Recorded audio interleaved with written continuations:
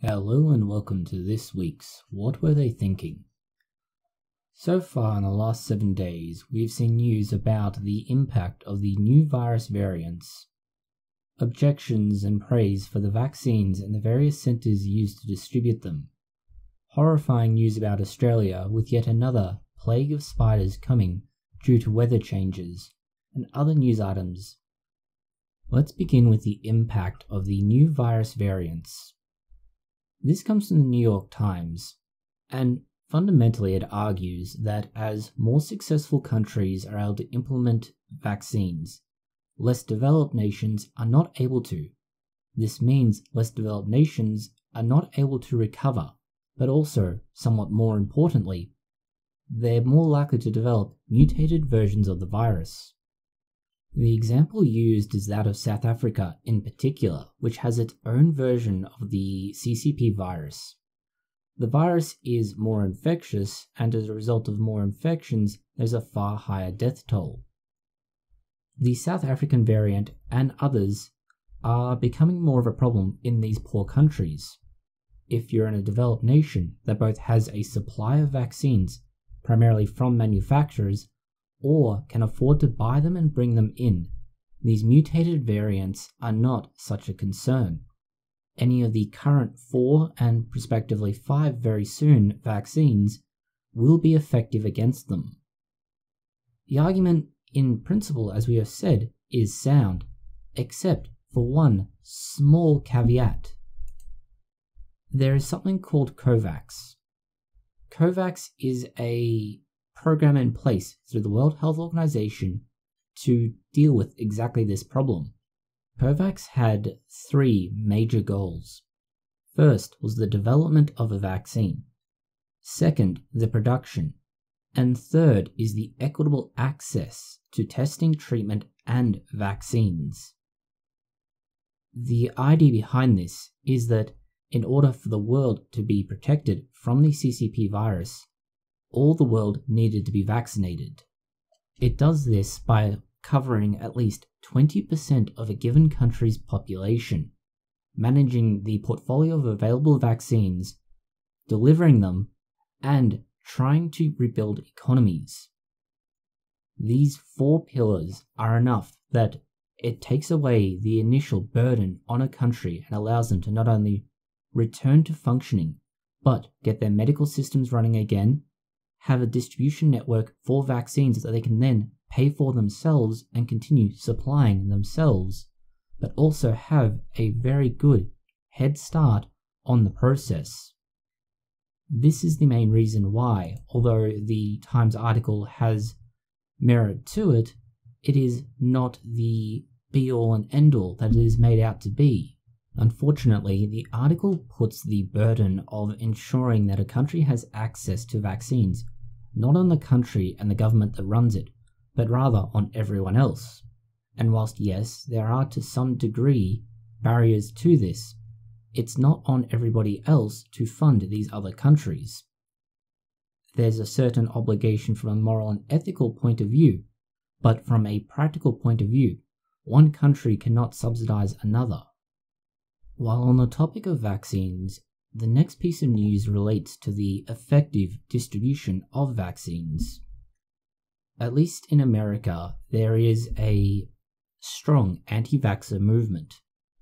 Whilst present in other countries, none are quite as vocal or active. The exact example given here comes from Los Angeles, the same county that has had quite drastic impact from the CCP virus whether that is overloaded medical systems, a lack of basic medical supplies like oxygen, or more and more people dying every day. You would think that based on this, any vaccination system would be embraced wholeheartedly. Except this is America, and at least in LA County, at the Dodgers Stadium, the vaccination site had to be shut down because people were protesting. Admittedly, only 50 protesters, but still, these 50 people prevented hundreds who had been waiting for their vaccinations from getting them. People who had been waiting hours. This is one of the parts of America where vaccines are being rolled out on a very stringent basis, where they select people based on the need for the vaccine. It begins with frontline healthcare workers and those who will be exposed, then the elderly, then the less elderly, then those who are going to be engaging with the public on a less regular but wider basis, and then the wider public in its entirety.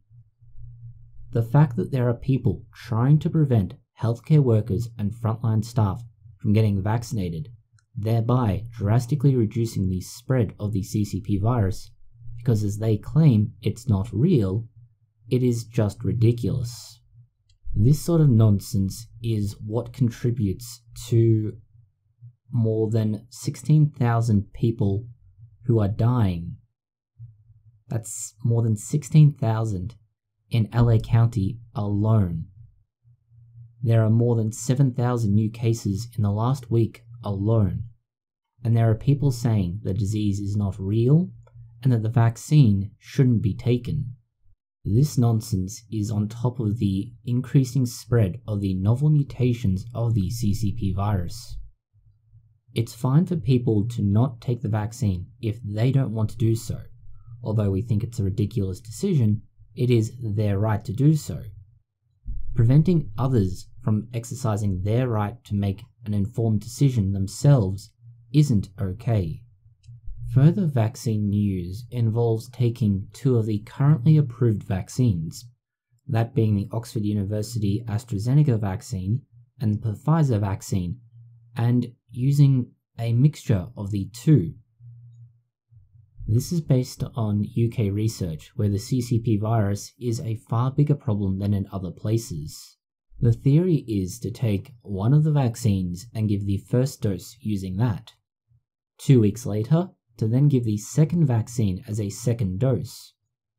The underlying theoretical result would be a long lasting immunogenicity to the CCP virus.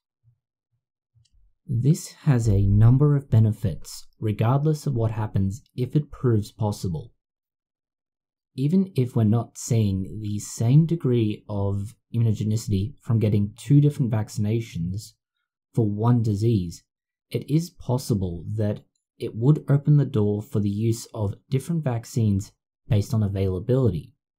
If we're talking about somewhere like Africa, where the availability of vaccines may be limited, and you've been given one, if you can have another and it is just as effective with the end result, it would drastically increase the ability to access the most cost effective vaccines, import them, and deploy them. As of this video, there are currently four approved vaccines in America. There are also two more, one from Russia and one from China, which have not been approved but theoretically could be used. Johnson & Johnson is the next candidate to be the fifth approved vaccine in America. The company intends to report results of its trials by next week. They've also claimed that if they are given approval by the FDA, they could deliver 100 million doses for the United States of America by the end of June. This means in roughly five months, they could deploy 100 million doses or 20 million doses a month, 5 million doses a week.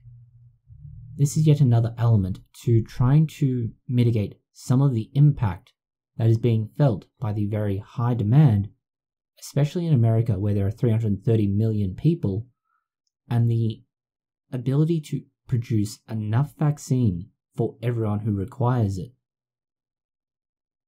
100 million doses may not go that far in 5 months if, like other vaccines, two doses are required. That is 50 million Americans who could be immunized by the middle of this year. 50 million more than would otherwise be possible without a fifth vaccine. These vaccines are more important than you might realize. Whilst, yes, the incredible death toll from the CCP virus is horrifying. It is not the only concern. We've already mentioned the possible implications for long term psychiatric disorders and a raft of other problems. one more that goes on this list is the issues of fertility when it comes to men. Sperm is produced in the male bodies in the testes. From here, it travels up the vas deferens and is ejaculated out. The testes have a number of cells in them. Some of these contain a large number of ACE2 receptors. ACE2 receptors are the current primary mechanism by which the CCP virus invades a host cell. Based on this, it stands to reason that testes would be impacted by infection by the CCP virus. While this was not well evidenced in the case of SARS, the CCP virus appears to have much better evidence to support that conclusion. One study being run between Germany and Iran looked at 84 men with the CCP virus and 105 without. In short, they found that the sperm in men who had been infected were three times slower and were far lower in count than their control counterparts. As we previously reported, at least in the West, with the reduced sperm count across the board, anything that further reduces it again is going to impact on fertility regardless. And although at the moment the broad average fertility is not a concern, the possible implications of this could see a huge reduction in children going forwards that isn't associated with lifestyle, social, and cultural factors, but is instead almost entirely biological. While men are seeing a reduction in sperm count and in the speed of their sperm, is it possible that mothers who have been infected by the CCP virus could give their children immunity? This is what one study that has been published in the past week looks at. They were examining blood samples from a little under 1,500 women. A very small fraction, 83, had tested positive for the CCP virus. The 83 women who were pregnant when they were infected by the CCP virus appear to have had an association with increased transfer of antibodies to their children. The association was, in short, the longer the time between infection and delivery, the more the antibodies were transferred. This is true whether they were asymptomatic or not. The caveat to this study is that the antibodies found were IgG. IgG is one of the few antibodies that can move from the mother and into the placenta. Of the 83 children, 72 were positive, 11 were not. Of these 11, 6 had mothers with very low IgG levels. This would indicate, at least in theory, that the infection had been very recent and the mother had yet to rally their immune system to fight it off. The remaining five children had mothers that only had IgM antibodies. IgM cannot move across the placenta. IgM also only appears in the early stages of infection. This means that these five mothers were even earlier in the infection process than the mothers who had very low levels of IgG. Overall, if it is true that mothers can impart some degree of immunity to children through infection, it is possible that vaccination could achieve a somewhat similar result throughout the early period of the child's life. If the mother can pass on antibodies and provide a degree of protection, it will at least somewhat mitigate the risk for children early on. But at the moment, the body of evidence is still wanting. At least the one piece of positive news to come out of this study is that it would appear none of the children at any point were infected by the CCP virus while still in the womb. While still on the topic of motherhood, Research into autism often focuses on the father, although it is recognized that autism is highly heritable. It's generally considered to be a predominantly male condition. This is where research from the University of California, Davis, and Stanford University looks at the mother in question. They took plasma from 450 mothers from children with autism and 342 mothers who did not have children with autism. They were trying to figure out whether or not there is a simple enzyme linked assay. This is commonly called an ELISA. It's a relatively straightforward test that uses antibodies to bind to a particular marker, and it will then activate, and this will give a signal. This could be fluorescence or some other measurable method. By doing this, they could figure out whether or not there are indicators in the mother of the chances of a child developing autism by taking a range of factors that are associated with autistic children being born to a mother, they could isolate which of them are indicators of this occurring. In fact, they found eight. And what is even more interesting is that in a constellation of factors, these eight could be used with 100% accuracy. The use for tests like this and others is very straightforward. Autistic children are often in need of more intensive caring, and if parents aren't in a position where they feel confident in providing that support and structure, they can make an informed decision about attempting to get pregnant based on a relatively straightforward blood test, or at least as far as the mother is concerned. It can significantly inform them about the probability of having an autistic child. Next, we want to talk about another neuropathology of sorts, or at least one that might prove to be such. Depression is a common psychiatric disorder. In fact, it's perhaps one of the most common. The changes it has on the brain, though, aren't as clear.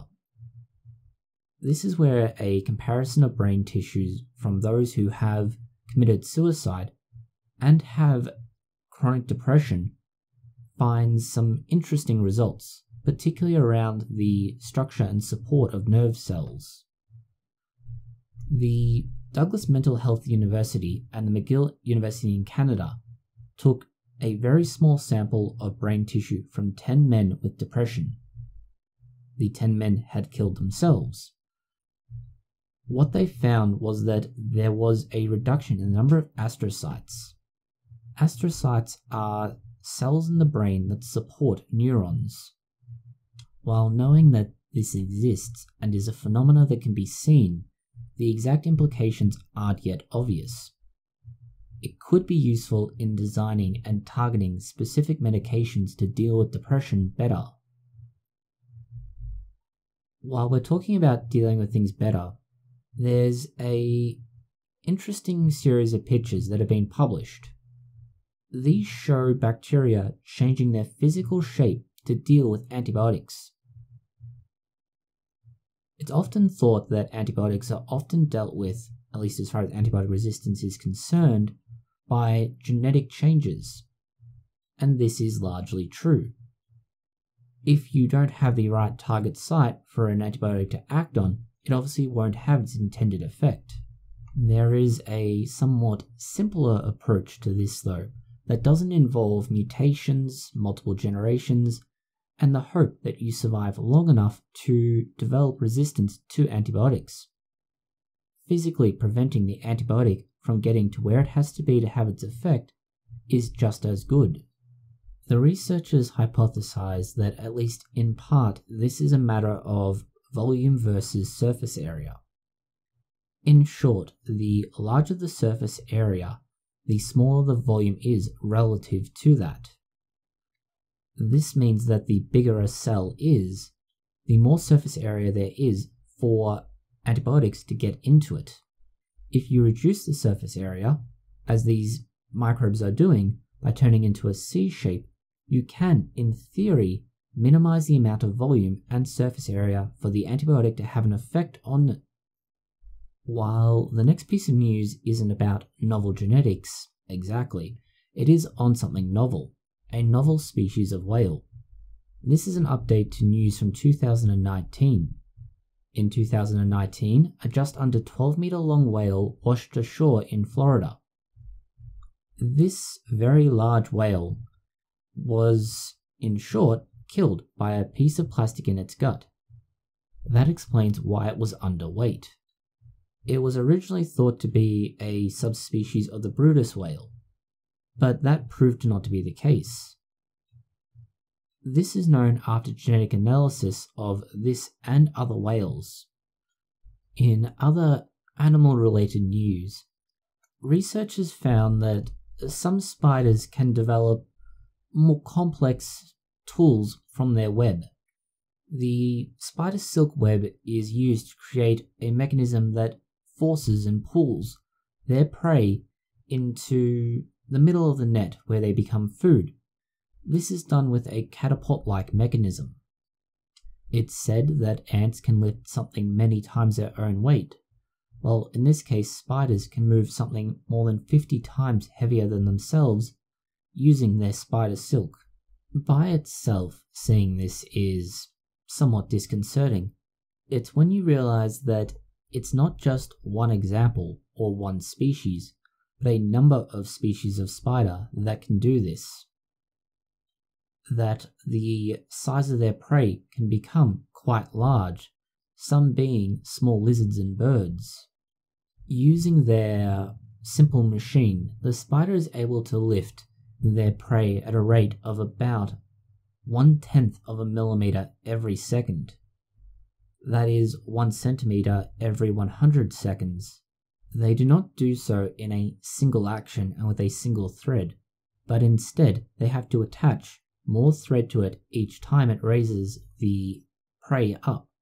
This means that in order to raise the prey 1 centimeter, 100 threads would have to be used. Finally, we go to Australia. As much as people may deny Australia's existence, this horror show is perfect evidence of why it's certainly real. The native flora and fauna in Australia are perhaps some of the most exotic and interesting. Whether this ranges from their larger bipedal creatures known as the kangaroo, or to something as small as their jellyfish. In between these are their spiders, and they are host to some of the most poisonous spiders in the world. As with just about everything else in Australia, these spiders have developed to deal with the extreme weather conditions and the kill everything that you find approach. In this case, the picture you see here is a very large number of baby huntsman spiders. This massive number of spiders occurred due to recent weather in Australia. Clearly, this can't be something particularly new to Australians, as in the video, the children are heard saying, Mum, we've got a bunch of spiders up there. And they're looking at this. When you go in your daughter's room, and she says, Mom, you've got a bunch of spiders up there. Little baby's one. And it's like, oh, that's not too bad. It's just like maybe 50, 60. But then she says, look in the other corner. There's more. And they're alive.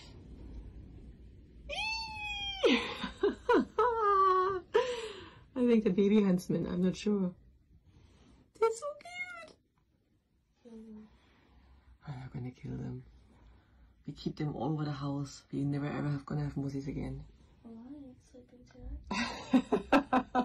Are you moving out now? Shall we burn the house down? Okay. we might have to do that. Yes, Australians, dealing with the weird and bizarre as calmly as you can since 1788. The Australian huntsman spider gets to a leg span of about 12.5 centimeters or 5 inches, and a body length of 2.5 centimeters or 1 inch. As mentioned, they've learned to cope, or at least evolved to cope with Australia's extreme weather. During summer, they do two things. One is the population increases exponentially. Two, they try and find somewhere cooler and more comfortable, such as the inside of a house.